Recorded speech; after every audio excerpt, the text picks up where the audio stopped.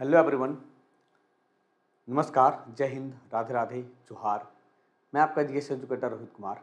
स्वागत करता हूँ सेवन मिनट ट्रिक्स में। तो आज इस सेवन मिनट ट्रिक्स में हम लोग देखने वाले हैं डेजर्ट के बारे में।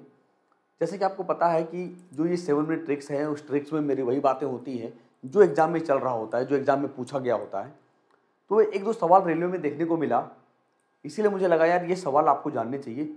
ये सवाल मतलब आपको समझनी चाहिए।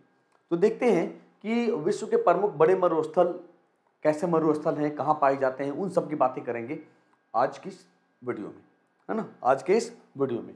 आइए देखते हैं, समझते हैं क्या क्या होना है। लेकिन क्लास शुरू करने के पहले मैं आपको बताऊँ, जैसा मैं हमेशा ऑलवेज इन्फॉर्मेशन देता हूँ कि अभी यूपीएसआई वैकेंसी आई है, आपको याद होगा, और यूपीएसआई को रेलवे के सब्सक्रिप्शन में अटैच कर दिया गया है। मतलब क्या है?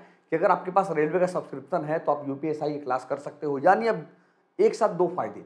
मतलब अगर मैं रेलवे का सब्सक्रिप्शन लूँ तो यूपीएसआई बिल्कुल हमारा कवर हो जाएगा, क्योंकि इसमें हिंदी और मूल विधि सब कुछ कराए जाएँगे।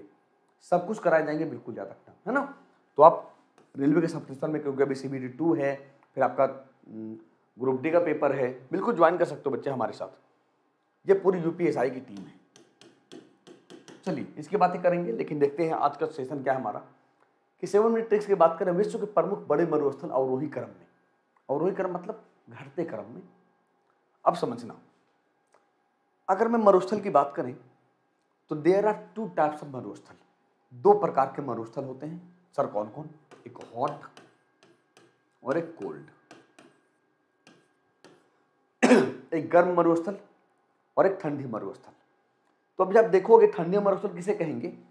ठंडे मरुस्थल की बात करें तो ये वाला जो रीजन देख रहे हो, ये आर्कटिक पोलर अंटार्कटिक पोलर ये ठंडे मरुस्थल है। अगर गर्म मरुस्थल की बात करेंगे तो ये सहारा देख पाते हो आप जो अफ्रीका में है, ये गर्म है। अरे बात समझ में, ये गर्म मरुस्थल है। अब देख सकते हो कई सारे मरुस्थल ऐसे होंगे। देख रहे हो सेरियन मरुस्थल है विक्टोरिया मरुस्थल है, कई सारे मरुस्थल हैं। तो देखेंगे कौन सा मरुस्थल कहाँ है, कहाँ नहीं है। है ना? ये देखें, समझते हैं। रेगिस्तान।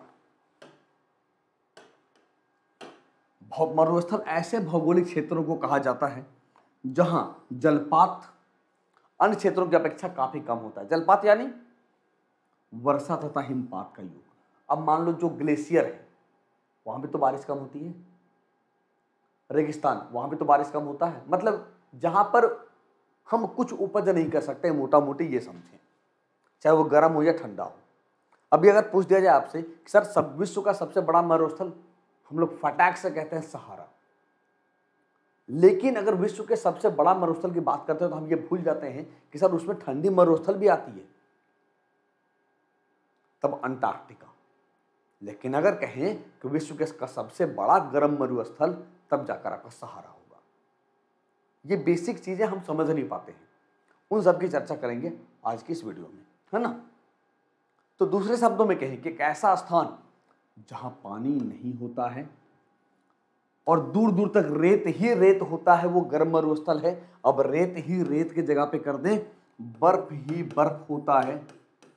बर्फ़ ही बर्फ़ होता है, जिसे हम कोल्ड डेजर्ट कहें। कोल्ड डेजर्ट कहें, ग्लेशियर कहें, ठंडे मरुस्थल कहें। पृथ्वी की सतह का, पृथ्वी की क्षेत्रफल का पांचवा भाग रेगिस्तान है। पांचवा भाग, फिफ्थ पार्ट। रेगिस्तान है, चाहे वो कोल्ड हो या हॉट हो।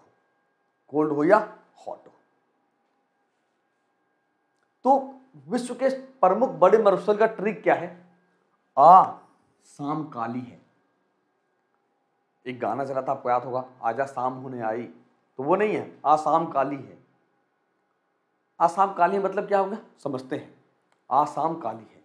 आइए देखें, समझते हैं। ए फॉर अंटार्कटिका सब घटते क्रम की बात कर रहे हैं। सबसे बड़ा मरुस्थल, अंटार्कटिका, जो कैसा मरुस्थल है ये? कोल्ड। कोल्ड मरुस्थल है। इसके बाद आर्कटिक, देख रहे हो? सहारा कहाँ जाएगा? थर्ड नंबर पर जाएगा सहारा। इसके बाद आर्कटिक, अंटार्कटिका यानी दक्षिण दक्षिण भाग, आर्कटिक यानी नॉर्थ पार्ट। इसके बाद सहारा, इसके बाद ऑस्ट्रेलियन रेगिस्तान, ऑस्ट्रेलियन डेजर्ट। इससे हो गया आ फिर सा, समझ रहे हो? बातें समझ में आ रही है? आ, सा, पहले अंटार्कटिका, दूसरे पर आर्कटिक, तीसरे पर सहारा, चौथे पे ऑस्ट्रेलियन, रेगिस्तान। फिर कहा साम, आम, अरेबियन डेजर्ट, और फिर मंगोलिया, जिसको गोबी भी कहते हैं। मंगोलिया डेजर्ट, और फिर काली, यानी कालाहारी डेजर्ट, कालाहारी रेगिस्तान।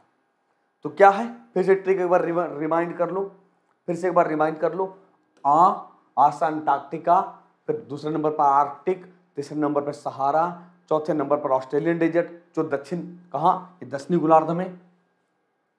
और फिर अरेबियन डेजर्ट, फिर मंगोलिया डेजर्ट और फिर कालाहारी डेजर्ट।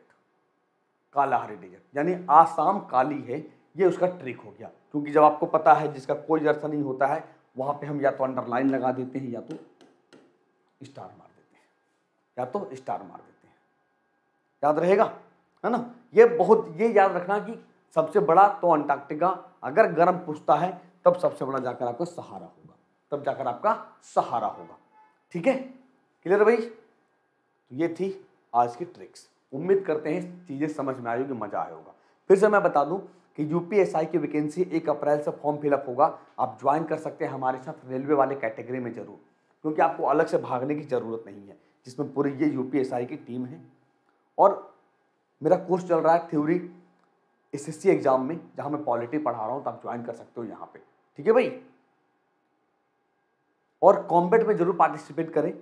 प्रत्येक संडे को कॉम्बेट होता है दोपहर बारह बजे। अन अकेडमी पर कोई भी सब्सक्रिप्शन लेना हो तो आप रेफरल कोड बाबर टेन लगाकर ज्वाइन कर सकते हैं।